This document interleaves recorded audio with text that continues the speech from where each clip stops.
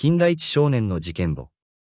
金田一少年の事件簿、本日22時より放送。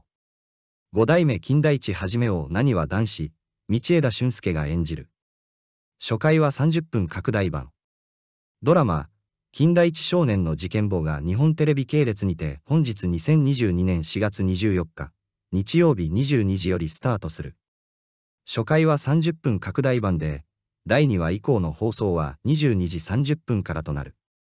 主人公である金田一はじめ、金田一はじめを演じるのは、ジャニーズ事務所所属のアイドルグループ、何は男子の道枝俊介さん。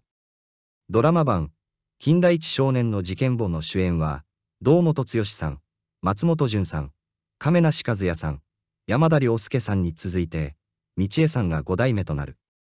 第1話のサブタイトルは、学園七不思議殺人事件。金田一の火曜高校で、学園七不思議に基づいた密室殺人事件が発生。